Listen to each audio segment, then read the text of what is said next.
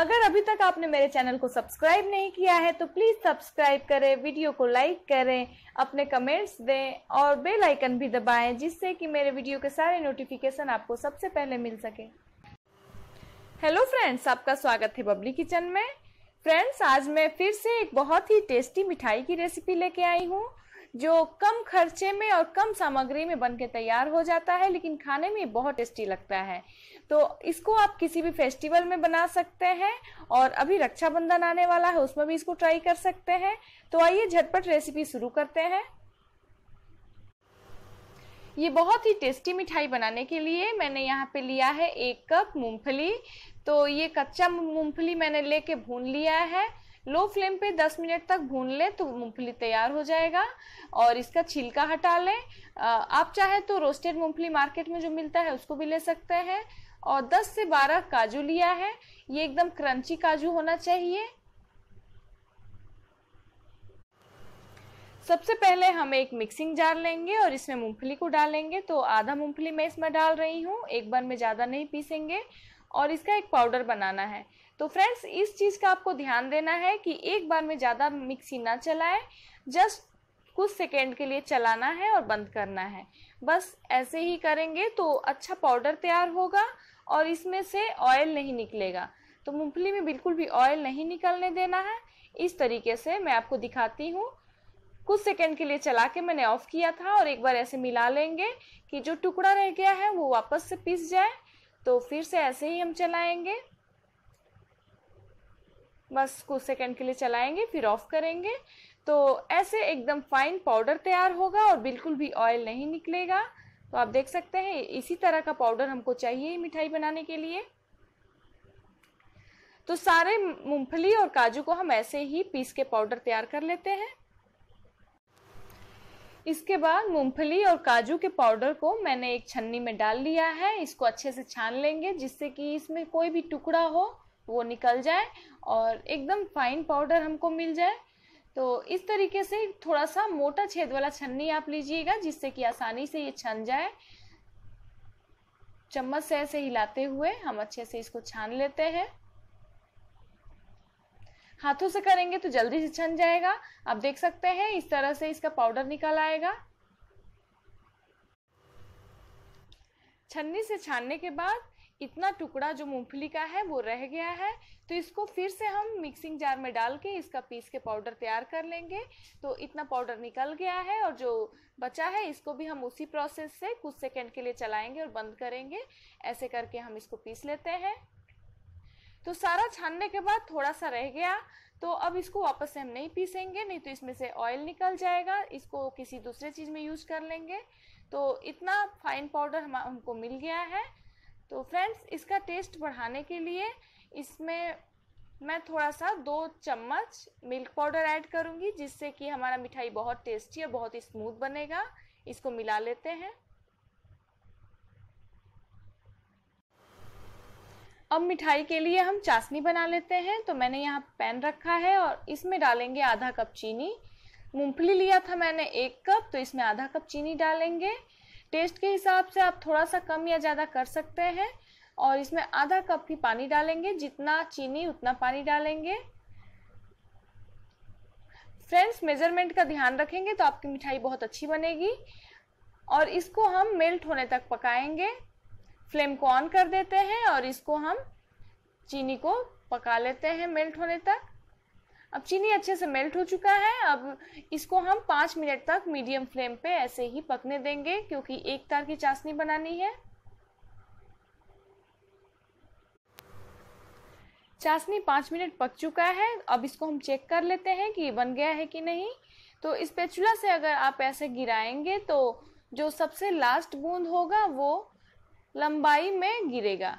तो आप ध्यान से देखें, जैसे लास्ट बूंद जो है, लंबाई से ऐसे गिर रहा है तो इसका मतलब चाशनी तैयार हो गया है। अगर हाथ से लेके चेक करेंगे तो एक तार बन रहा है, आप देख सकते हैं। अब मिठाई को अच्छा लुक देने के लिए मैं यहाँ पे ऑरेंज फ़ूड कलर ऐड कर रही हूँ।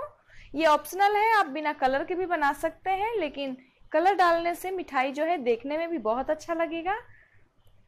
तो इसको हम मिला लेते हैं।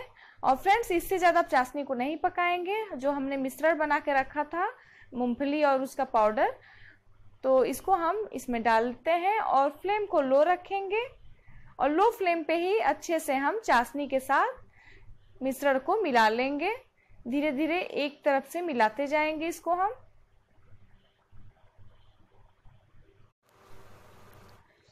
ये अच्छी तरह से मिक्स हो चुका है। आप देख सकते हैं कितना अच्छा कलर आया है।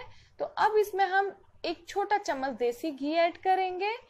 और इसको जब तक कि कढ़ाई छूटने ना लगे, इसको हम ऐसे ही भूनते रहेंगे। फ्लेम को लो रखा है मैंने यहाँ पे और लगातार चलाते रहेंगे। दो मिनट भूनने के बाद फ्रेंड देख सकते हैं, ये कढ़ाई छूटने लगा है तो इससे ज़्यादा नहीं पकाना है। अब फ्लेम को ऑफ़ कर लेते हैं। एक बर्तन को घी से थोड़ा सा ग्रीस कर लेंगे और मिश्रण को उसमें हम डालेंगे। क्योंकि मिश्रण को थोड़ा सा ठंडा करना है। ज़्यादा ठंडा नहीं, बस इतना ठंडा करेंगे जिससे कि हम हाथों से इसको छू सकें। तो स्पून से ऐसे ही चलाते हुए इसको हम थोड़ा सा ठंडा कर लेंगे। स्पून से चलाते हुए थोड़े, थोड़ी देर तक मैंने इसको ठंडा कर लिया है। अब हाथों से इसको मैश करेंगे। हाथ को थोड़ा सा घी से ग्रीस कर लिया है और इसको हम आटा की तरह गूंदेंगे और एक सॉफ्ट डो तैयार कर लेंगे। तो ध्यान रखिएगा, ये गर्म रहे तभी ये काम करना है। बस सावधानी से करें जिससे कि थोड़ा हाथ ना जले। अब मिठाई को बनाने के लिए मैंने यहाँ पे एक बटर पेपर डाला है, इसको थोड़ा सा घी से ग्रीस कर लेंगे। आप चाहे तो बटर पेपर या फिर कोई पॉलीथीन भी डाल सकते हैं। और डो को थोड़ा सा हमेशा मिक्स कर लेंगे। ये ध्यान रखिएगा, थोड़ा गर्म रहे तभी इसको करना है। नहीं तो पूरी तरह से ठंडा हो जाएगा तो इसमें क्रैक्स पड़ सकता है। तो ये अब तैयार हो गया है तो अब इसमें सेप हम दे देंगे। तो सेप देने के लिए अलग अलग तीन पार्ट में इसका कर रही हूँ। आप चाहे तो इसको पेड़े सेप का भी बना सकते हैं, लेकिन मैं इसका रोल बना रही हूँ तो इसको लंबा करके इस तरीके से हम रोल की तरह फैलाएँगे। तो जितना पतला आपको बनाना है रोल उतना फैला ले इसको। तो ये एक बराबर मैंने इसको कर लिया है, अब इसको हम कट कर लेंगे।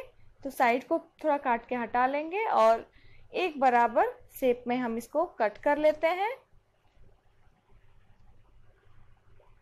एक बराबर काटने के लिए इस तरीके से हम इसको नाप नाप के काटेंगे। तो फ्रेंड्स, अभी ये थोड़ा गीला है जैसे जैसे ये ठंडा होता जाएगा, ये थोड़ा सा सेट होके थोड़ा सा हार्ड हो जाएगा अच्छा टेक्सचर आ जाएगा इसमें। तो कुछ मिठाई हमारा कट तैयार हो चुका है तो इसको हम प्लेट में रख लेते हैं। और इसी तरीके से सारे मिठाई को हम काट लेते हैं रोल करते हुए।